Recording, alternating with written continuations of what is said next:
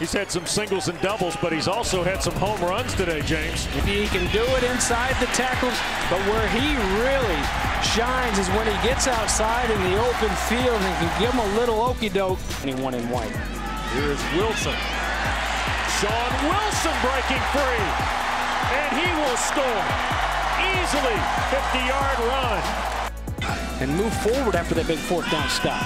Here goes Wilson around the edge and lots of room for Shaun Wilson.